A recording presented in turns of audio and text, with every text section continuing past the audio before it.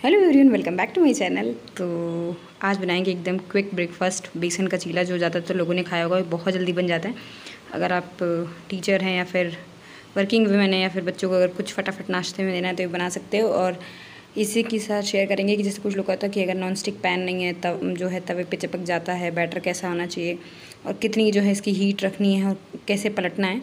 तो ये सारी चीज़ें और सिखाऊँगी। तो चलिए वीडियो पे ना तो please like share and subscribe ज़रूर कर देना। तो चलो बिना बकवास की स्टार्ट करते हैं। तो यहाँ पे सबसे पहले मैंने लिया है चने का बेसन।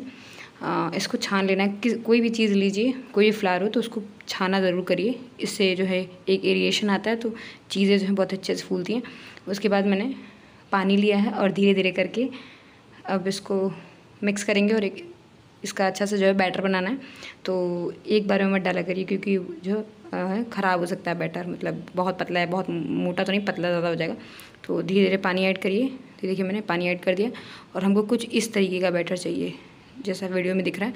अब इसमें ऐड करेंगे हल्दी, नमक, लाल मिर्च और मैंने इसमें थोड़ा सा गरम मसाला भी ऐड किया था और इन सबको अच्छे से मिक्स कर लेंगे। आप अपने हिसाब से चाहो तो जो लाल मिर्च है वो हटा भी सकते हो अगर बच्चों के लिए बना रहे हो तो। तो इसको अच्छे से मिक्स कर लेंगे और हाँ कमेंट करके बताना किसका किसका जो है, ये गो टू रेसिपी है। तो उसके बाद मैंने यहाँ पे हरी मिर्च डाली, बहुत अच्छी लगती है। आप चाहो तो स्किप भी कर सकते हो ऑप्शनल है।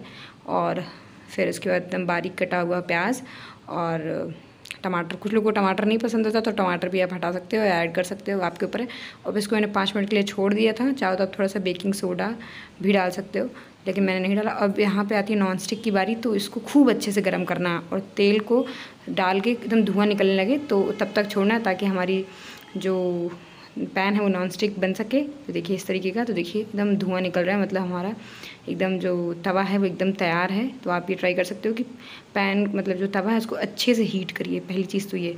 अब देखिए इसको डाल के अच्छे से फैला देंगे। मेरा थोड़ा ज़्यादा मोटा हो गया था तो ज़्यादा मोटा मत रखिएगा।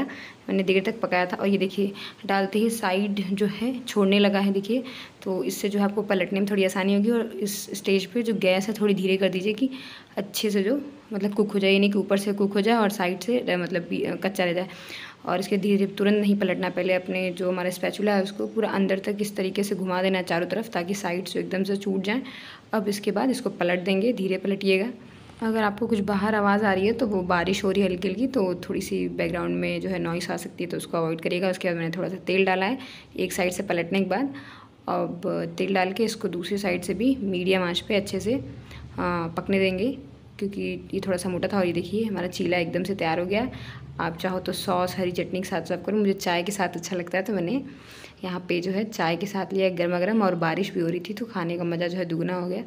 तो अगर आपको वीडियो अच्छी लगी हो तो प्लीज़ कमेंट करके ज़रूर बताना और कमेंट करके बताना कि कौन कौन जो है सुबह उठते यही बनाता है, खास करके जो पढ़ने वाले बच्चे होते हैं। तो मैं तो यही बनाती हूँ। तो thank you and a good day bye bye and please subscribe my channel have a good day